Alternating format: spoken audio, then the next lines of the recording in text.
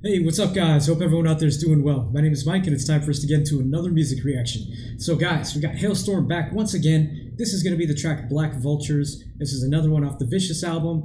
Tonight has been exclusively the night that I've heard songs from this album, so that's really cool. This is going to be a request. This is going to be for uh, my friend on the channel, Carol G. So, um, this one is actually the uh, first track on the album. So, this is. Uh, you know, the introduction to the album. Maybe I should have done this one first, but I didn't know the order yet at the time. So, um, anyway, this is one of the songs that's on the set list. Potentially, they may play this. Uh, people have said they might change it up and not play it. I don't know. Either way, we're going to check it out.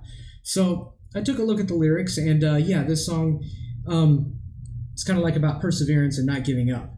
Now, I kind of want to go over the insight from Lzzy because um, it's you know I don't really have much to interpret on the lyrics. It's pretty clear, inspirational writing. Now, um, here's what she had to say about it. So, uh, well, she kind of talks about uh, them going into the studio, and a good friend for ten years, Brian Vodinh, ended up hanging out in Nashville one night, and he was like, "Hey, I want to come to the studio," and we ended up jamming on this idea, and it was like, "Hey, let's just write a song. We're here." So she said on the way to the studio, she wrote down vultures, the word vultures, because she thought it was a cool song title. Then on the way, she saw at least 20 vultures on the road picking at something. So she's like, oh, you know, this must be a sign. So they got to the studio. She mentioned the title. They wrote the instrumental part, wrote the lyrics, and that's how it kind of steered the song into being about survival. Kind of cool how that all came, uh, came about. So um, yeah, like I said, the lyrics are pretty clear. Um, so we won't go over too deep a dive into that since we talked about you know Lzzy's insight into the song. I just want to mention they had a lyric uh, video, like an audio thing, and then they had like this visualizer video. But it looks like there was some actual footage taken for the visualizer. So we're gonna check out that version. So without further ado, let's go ahead and jump in. Sorry if I have to do any editing to, uh, you know, because of a visual content block. Here we go.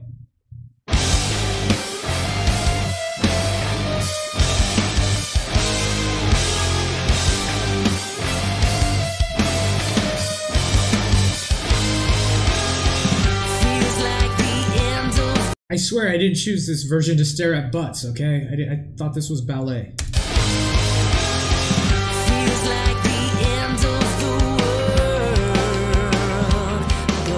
I didn't choose it for that either. I had no idea.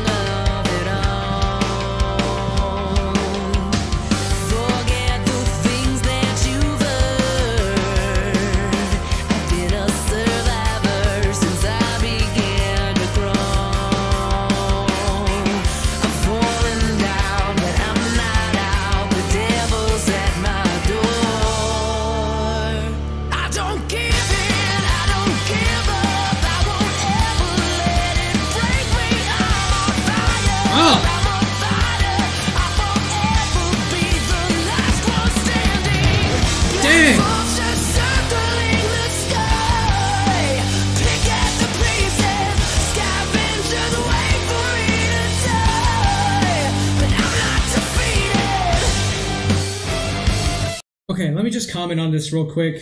Uh, let me co- put it on a different shot there. There we go.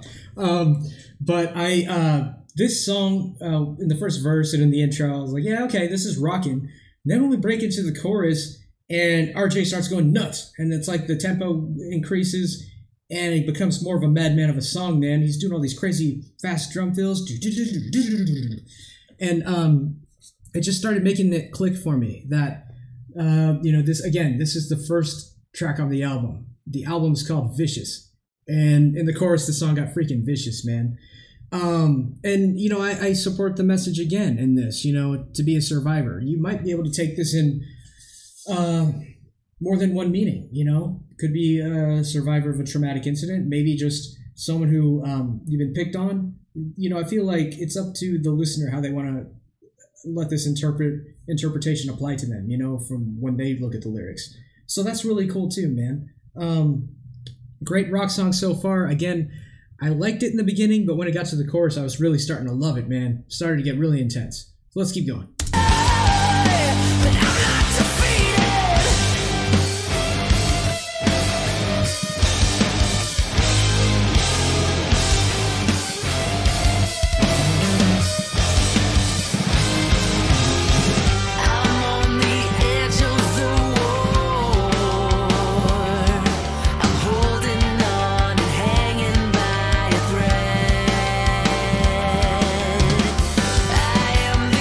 Okay, he's actually doing a lot in the verses too. And you haven't seen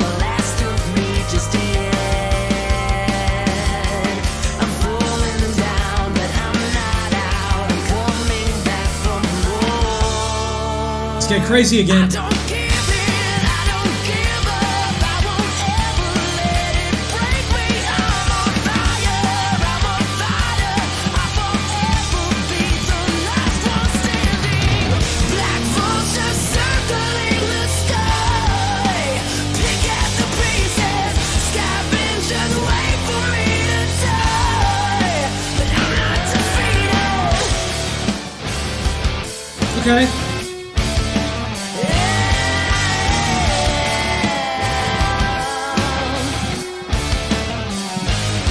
it's very, very interesting instrumentation on this bridge.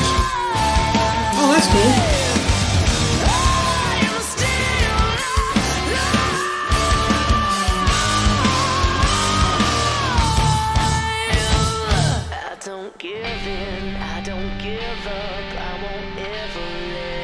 I wonder what the story is behind this direction in the video.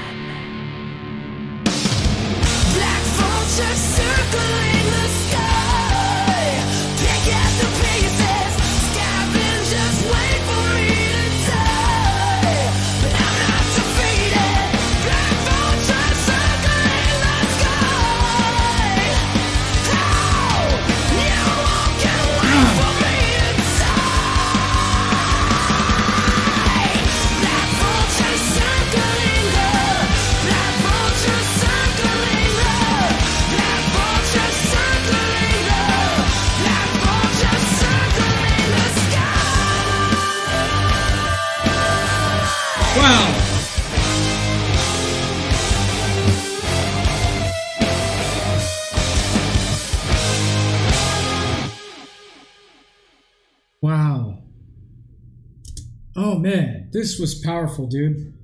This, uh, well, Halestorm, Black Vultures. Yes. Her work in the vocals in the chorus of this song, especially that outro, where I think I put my hands up that's some of the most powerful I ever heard her, man. And I, I know I say that all the time, but that was so much power.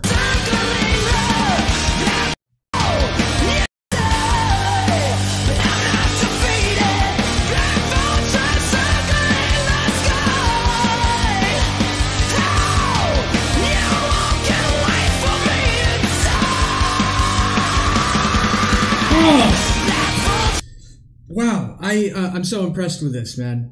Uh, this song took me in a couple directions I didn't expect either. Seems um, uh, I think I commented in the bridge what an interesting melody they were playing. It's like uh, I, I like when they get a little bit more um, adventurous there, you know. And maybe it had something to do with uh, that good friend of theirs that said uh, for ten years, what's his name, Brian Vodinh, kind of helping him work on this. It's like a you know, uh, a taste of a little bit of a different ingredient in the music. Maybe that's where some of this stuff that was unique to me, where it came from. If so, that's so cool, man. Um, also, I uh, so yeah. Again, let me just recap by saying this was an excellent song. Um, you know, I it didn't super catch me in the first verse. I didn't get caught on this one until the second, the first chorus. But then when we got to the second verse, it was a little bit more intense too. They stepped it up a notch. And it, it's not that I need every song to be hard and heavy, hard rock and metal to enjoy it, but for whatever reason, I wasn't fully sold yet on the first verse. And then after that, I was good to go. This song kicks ass. I love it. Um, I was also going to mention I I wonder what story the direction here by of this video by Katya Spivakova, what story it's telling here. Because there were some moments of this where I feel like it there's a, a deeper meaning to this that I might be missing. Um,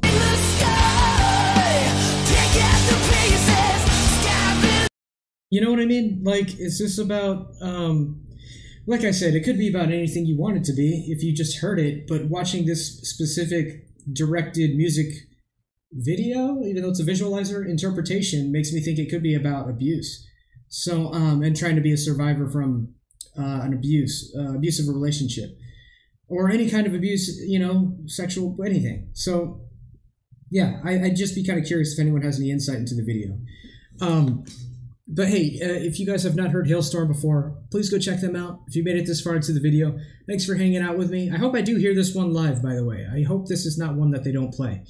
Um, but yeah, thanks for hanging out with me. Thanks for rocking out with me. Uh, we'll see you guys in the next one.